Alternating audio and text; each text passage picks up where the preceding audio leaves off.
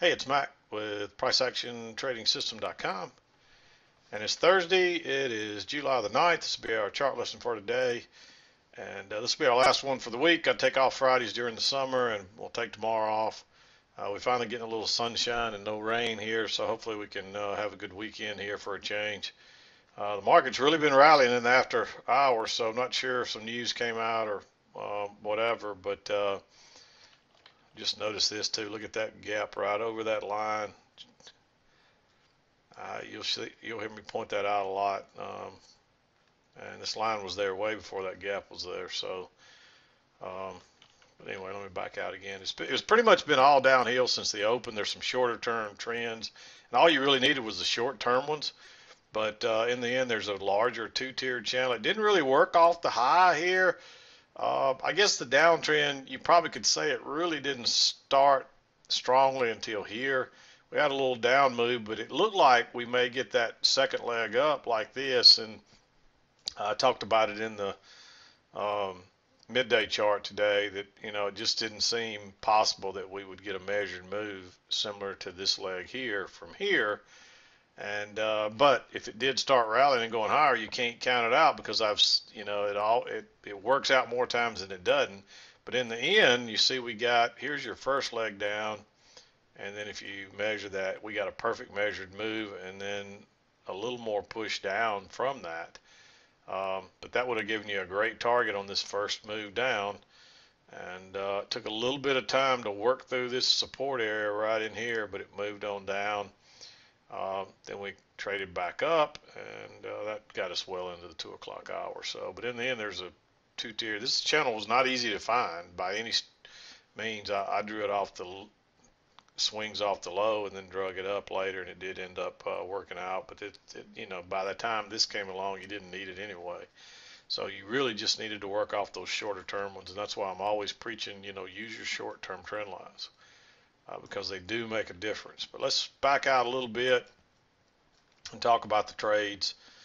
Um, first trade I saw this morning was um, this trade right here. It was well. I you know I sat here for quite a while. It was a little slow at first. Uh, you can see that first trade was it was almost right before the open before that came out. So Okay, I can't even get two minutes into this thing without an interruption. I apologize, but um, yeah, the first trade I saw was almost 8:30 before we had the first setup here. Um, we just kind of meandered around, still heading up on this trend. Uh, but this was the first pullback to the trend line. The trend line's pretty, you know, fairly obvious right up through here. It's really off of the closes there. You can see we bounced right there, and the close held again. Um, that's a like a breakout pullback long, but the main thing is it's a failed second entry short.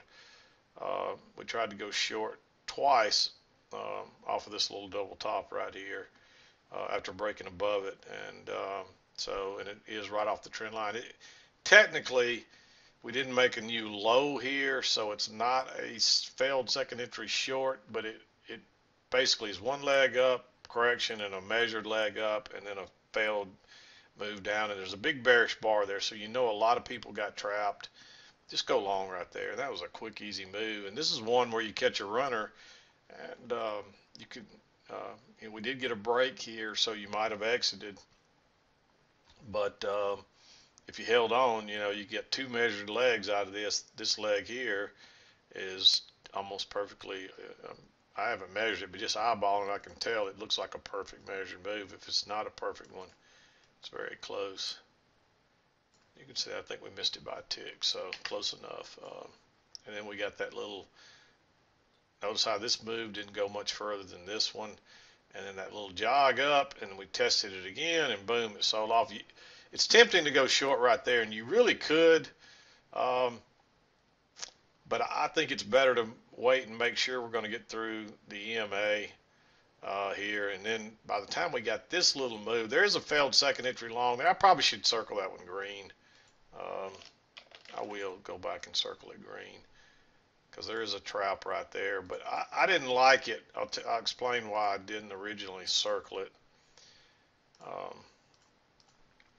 was because look how flat that is and the dojis and all the overlap. But notice the new high pullback, first entry, pullback, second entry, and uh, it fails and it goes out the top and then goes out the bottom. So, uh, you know, a lot of people are going to take that trade. So if you took it, that's okay. And then it comes back. You got that little double top right there, and you really tested it. So you've tested that level three times. It turns down again. It's a first entry counting off the lows, but um, notice how everything's below the EMA. And the main thing I liked about it was if you drew your uh, trend line, originally I had it a little higher here. I adjusted it down some. Um, and you drag it up, it fits perfectly there. So that's why I was looking for prices to turn down there. Um, this one might could go green. This is real borderline because it is a first entry, but it's also a breakout pullback short because that is a little congestion area, and it pulls back and tests it and then goes lower.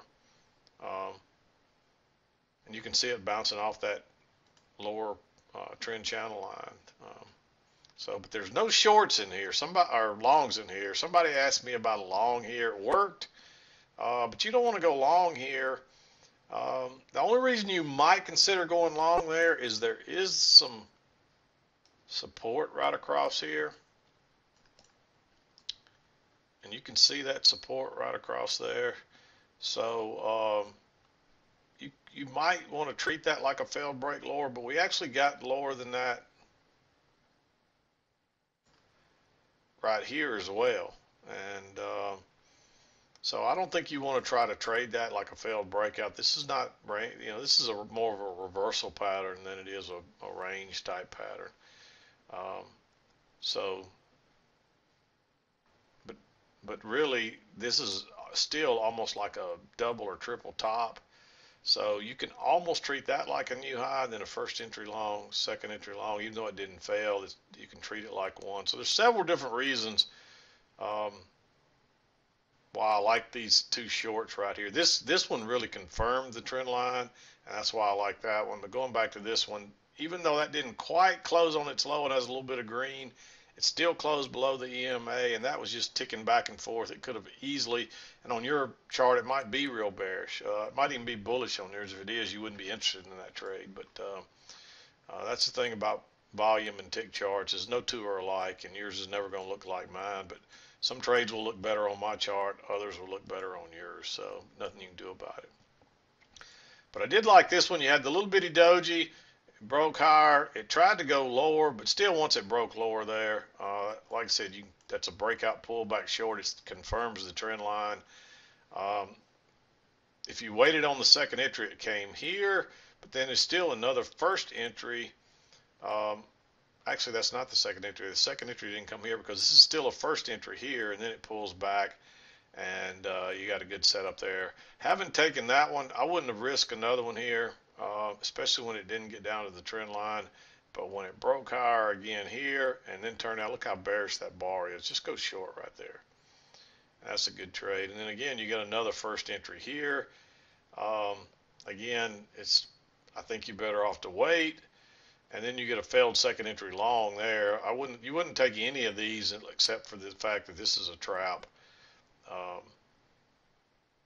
because we, we've had a break and a new low already. But when you get that, notice the new high, pull back first entry, pull back second entry, and when it fails and turns down, you can go short right there. And if you didn't go short on that first bar, look at this second one. Uh, let it break below and then drop a limit order back, maybe, or maybe just put it right there where you would have gotten filled the first time. But it pulled back a couple, couple of ticks um, before it went on down. So that turned out to be a nice trap there. Uh, and then I wouldn't risk any more shorts after that. But there was a second entry short here. Uh, we've already had your break and you've got two really measured legs down. So now it's getting risky going short anymore. And somebody, the same person asked me about that as well, you know. Um, they're trying to get long several times. You can see it actually went further than a measured move they try to get long several times and they finally try to get decide to get short and they wait till right here and then it's too late. You know the prices the reversal pattern you've already had your break of the trend line a couple of legs down to a new low and uh, and you don't have a very good signal bar here at least not on my chart. So this is where you're expecting a failure and uh, and it fails and turns up. It's tempting to go long right there but I think you got to wait. Um, think you're better off to wait on the next pullback, and when it turns down, up, it goes below this little doji first, and then goes out the upper side. So your long is really one tick over that little doji, but even this bigger bar, I would I wouldn't have any problem with it breaking higher than that, and then dropping a limit order in there, tick or two back, and catching that ride as well. Um, there's actually a failed second entry short right there. That one should have been, uh, I meant to circle that one in green and I forgot to circle it. Um, and the only reason it's green is because we've mostly been down and you're already getting a big bearish close here. But this is a new low, swing low, because it's lower than that one. So pull back first entry, pull back second entry. Um, right off the EMA. Everything's above the EMA. It's the first break of the trend line. Uh, so there's multiple reasons to be consider that one. It's it's real borderline just being able to mark it blue, but um, but I, am going to mark that one green. So uh, because it's it's just a little risky uh, because I, because of the um, big bearish bar right there, and uh, there's a couple of other reasons really, but uh, that's the main reason and the fact that the bias has really been down. And although this looks like a, although this is a kind of a reversal pattern, it doesn't look like the big reversal that leads to a big move. So we still were finding resistance here at the EMA, and even when we got through, we still had to test it a couple of times on both sides. So this might just be a short-term correction in a bigger pattern, which is exactly what it turned out to be. Uh, and you and you really don't know exactly where that trend line is. I actually had one drawn here just in case that kind of worked down through here. Um, so this could have been the first break of, this might have been the bigger one here in the first break. And, you know, just a lot of different reasons why you got to be real careful. There's not very much room before scalping out there either. So, but there is the trap. So I'm marking it green. Uh, that's enough on that one. Um, and then this is what kind of a reversal pattern looks like. Look how it rushes down and it goes right through the EMA. And then it pulls back and it's still closing below it. It's really tempting to go short there. But again, um, I think you want to wait and see if you get that trap and you get it right here. So there's a, um, you actually want, actually you don't want to take this one until uh, the second entry. And even and this one still, let me explain this because this is a little bit confusing here. Let me move all this. Notice the move up, the pull back, the second move up, and then the big bearish bar. Um, this little line's confusing it. Uh, so that's a second entry right there, and everything is below the EMA, and there's a and it's actually a failed second entry long right there too. Um, so that's why I like that one. And if, hang on, let me keep this out of the way. I'm trying to put it back to, and then if you uh, didn't enter right here, when it pulled back and turned down again right here, you could enter right there. Definitely. And that's like a little breakout pullback short. Even though it didn't tick lower, it, it's close enough. And this one probably traps people because it's a failed second entry long. So there's an entry here and here. And this one, this first one is close to being um, a green circle, but I think it's good enough. And, it, and the entry is not this bar right here. It's when it broke below the bigger bar right here because now you got to move up, a pull back, and a second move up. And so if you went to a smaller chart, you'd see a second entry short there. Um, and then the next entry was this, that little trap on, right next to it. And if you were already in, you could add on there. I love those add-on trades. Uh, they make you nervous at first, but once you realize what's happening, if it goes lower again, it just increases your odds, and uh, and that's one I like to add on. And there's actually a failed second entry long here. Um, you could have taken this trade. This is another one that could be green, But after that big a move down and so close to the low and this support right here, I just think you're better off to skip that one, even though it worked, because you notice it didn't go far before it started congesting again. And so um, I just didn't like it. And then um, then you then you you just kind of worked across here, but you couldn't get back to the to the trend line, and you finally got back right here. But that's a first entry. Notice the new low, uh, first entry pullback, and then you then you get a second entry right here. So that and it's off the trend line, and you do have that double top there, and it's a double test of this price level. So I really like that trade, and that turned out to be a huge move down. Um, you got another new low, pull back first entry, pull back second entry. Um, and this was the first break of the trend line uh, and second entry short. Um, you figure we're going to at least test this low and we might even go lower. Um,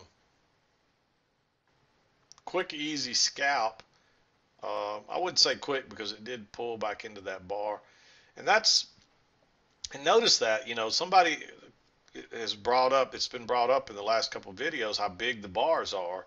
But notice how prices will break below them and pull back on just about all these bars. So it's giving you an opportunity to get in uh, with a limit order. However, I, I always like to say this: sometimes you're going to miss the best trades trying to trying to be greedy and get a little better entry. You know, when it's really volatile like this, I don't worry too much.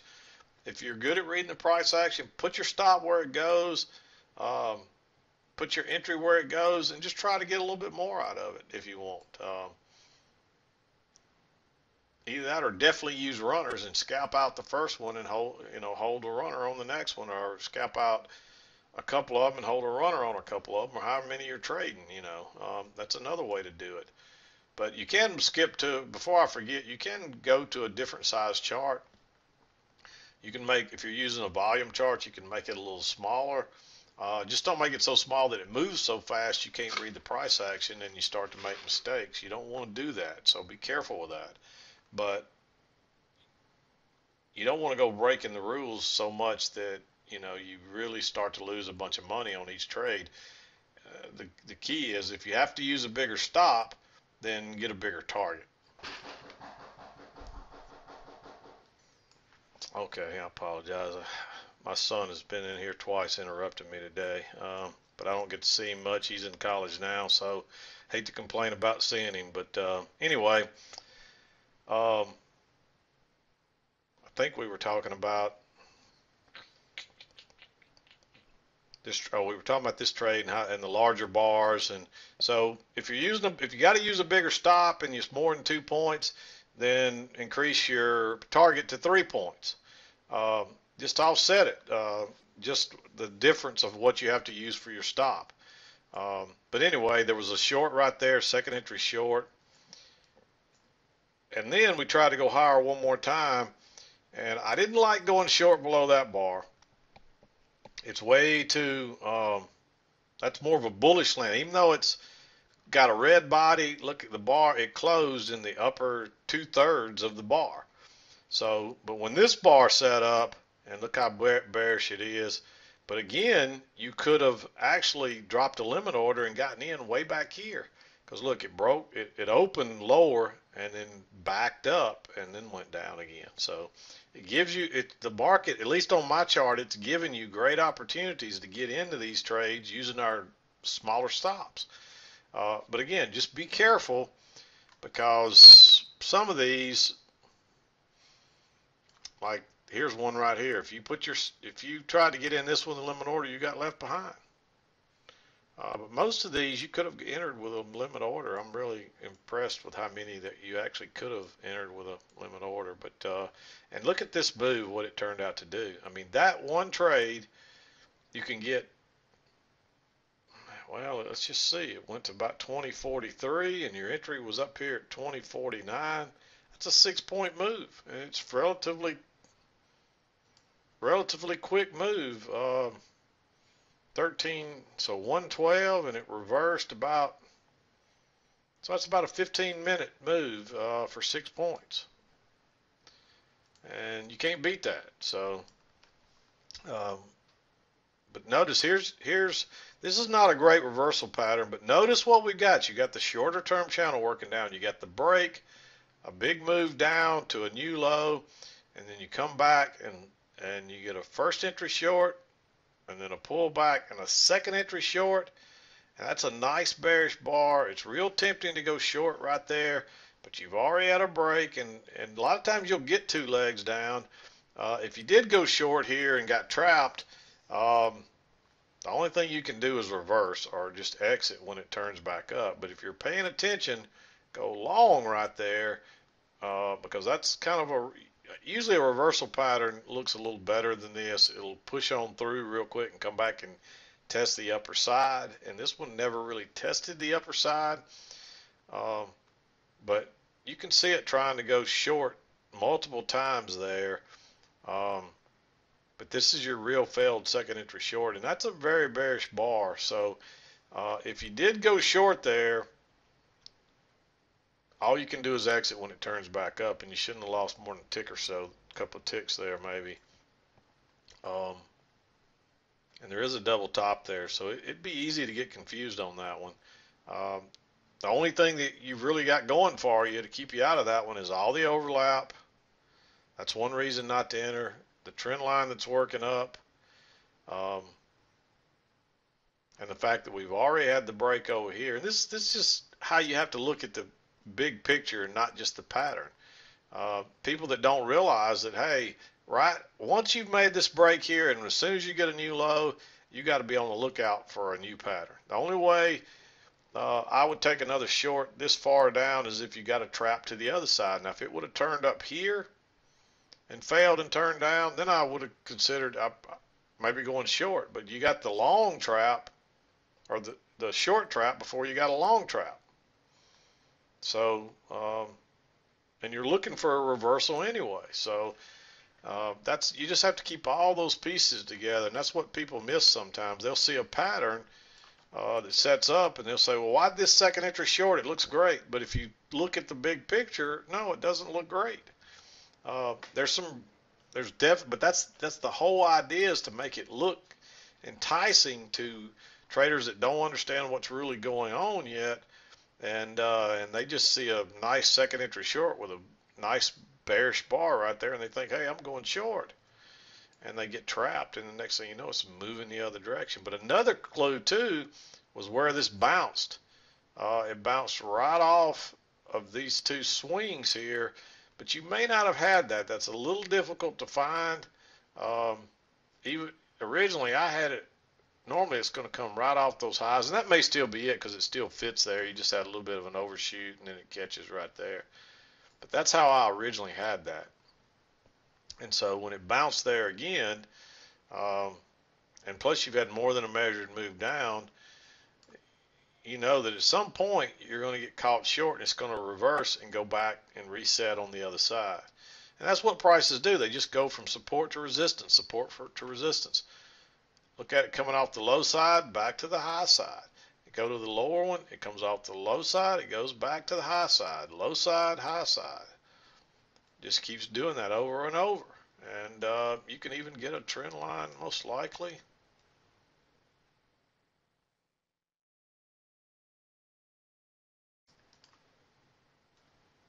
Looks like there's going to be one right there maybe. And the way I usually verify it is if it fits on the other side, and there it does, and there's probably a midline in there. And you can see that right there is a nice two-tier channel working down right there. So you just have to learn how to see these lines. I, when you're new, you're going to have a hard time finding these channels, or harder time, I should say. They're not that difficult. But I can glance at the chart and see it. But I've been doing it for a long time and I have a lot of experience. But as you get more experience, you'll be able to just glance at the chart and see it too. Um, but I do, I will tell you, don't try to read the chart naked. Draw these lines because you will get fooled. I mean, a lot of times if I don't draw my lines on there, I miss things. So uh, don't think that you're too good to draw the lines uh, because you'll end up regretting it if you do. And I can tell you from firsthand because I've been down that road and made that mistake. So um, anyway, I'm going to uh, wrap it up. This video is getting a little bit long here.